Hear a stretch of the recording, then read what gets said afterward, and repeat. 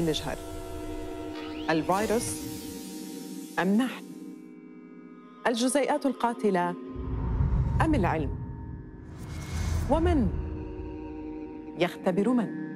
كورونا امتحان معقد ومأزق عالمي الخلاص منه يبدأ من هنا عبر هذه الأنابيب ومع نخبة علماء الدول الأكثر تقدماً وتضرراً ولم تكن هناك دولة بمنأى عن تفشي الفيروس ليدخل أكثر من 200 لقاح إلى التجارب. معادلة أي لقاح يتم تطويره تعتمد على أمر واحد وإن اختلفت تسمياته خداع الجسم ليعتقد أنه تعرض لهجوم من قبل جسم عدو. وتبدأ المقاومة باندفاع الجهاز المناعي مطورة أجساما مضادة. تقضي بدورها على الفيروس.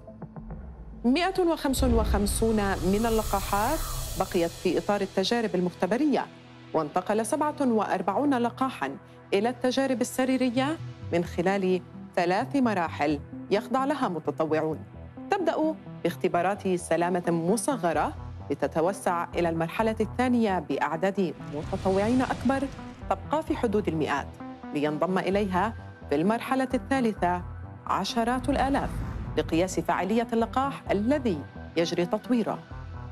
وبين الخوف من الفيروس وتداعياته المدمرة وتجنب ضريبة السرعة وما تحملها من تشكيك في قدرة اللقاحات وفاعليتها أفرزت هذه التجارب ما كان مرجوا ومنتظرا منها.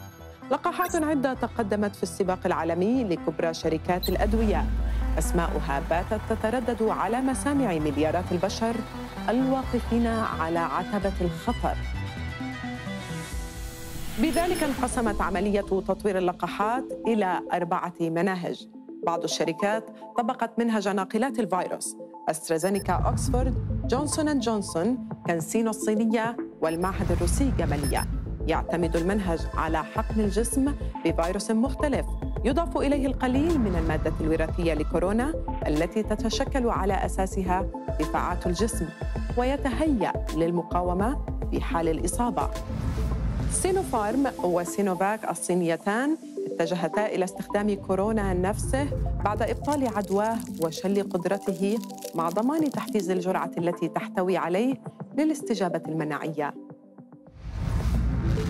النهج الثالث الوحدة الفرعية التي توصل إلى الخلايا شظايا فيروس كورونا إما القشرة الميتة أو البروتينات غير المجسدة التي لا يمكنها التكاثر والتسبب بعدوى. هذه اللقاحات اكتسبت اهتماما عالميا واسعا بالطبع غير أن لقاحي موديرنا واتحاد شركتي فايزر بيونتك فقد حظيا بالتفاتة غير مسبوقة. وينظر إليهما على أنهما اختراق علمي. طالما تمنى العلماء تحقيقه منذ اكتشاف النهج نظريا في 1961 التكنولوجيا لا تعتمد على أجزاء من الفيروس بل على الشفرة الوراثية من خلال حمض نووي رسول. يصنع مخبريا ليتطابق مع الحمض النووي الموجود في كوفيد 19 ومع حقنه إلى الخلايا البشرية يدفعها لتصنيع بروتينات مماثلة لبروتينات كورونا التي تقوم بخلق الأجسام المضادة والتي تهاجم الفيروس في حال الإصابة به. وتنقض الخلايا التائية التي يحفزها اللقاح أيضا لتدمير الخلايا المصابة. نجاح تقنية الشفرة الجينية وخاصة الجزء المتعلق بالخلايا التائية فتح باب الأمل لعلاج أمراض أخرى كالسرطان والإيدز. ماذا تبقى؟ لدينا اللقاح وهناك شركات بدأت عمليات التصنيع حتى قبل حصولها على المصادقة والاعتراف. فهل يتعافى العالم الآن؟ نحن نتحدث عن نحو ثمانية مليارات إنسان على الأرض. كل واحد منا يحتاج إلى جرعة أو جرعتين بحسب اللقاح الذي ستتجه إليه كل دولة. ويمكن للدول أن تحصل على أكثر من لقاح في نفس الوقت غير أن الأزمة تكمن في الكمية. بالنتيجة هناك دول حصلت وستحصل دون غيرها على اللقاح كما أن هناك فئات ستحصل عليه قبل أخرى في ذات البلد.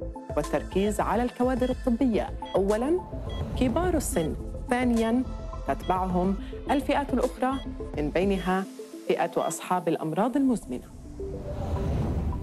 سنضع هذا التحدي جانبا ونتناول آخر. لدينا كل هذه الجرعات التي يجب الحفاظ على فاعليتها. فيجب مثلا حفظ لقاح شركة فايزر في درجات حرارة 70 أو 80 مئوية دون الصفر أي أن شحنه يتطلب طريقة خاصة تتضمن أجهزة تبريد توفرها الشركة فيما لن يواجه لقاح أكسفورد أسترازينيكا كل هذه التعقيدات لأن بالإمكان حفظه في درجة حرارة الثلاجة العادية أو الطبية المتوفرة في كل منزل أو مستشفى.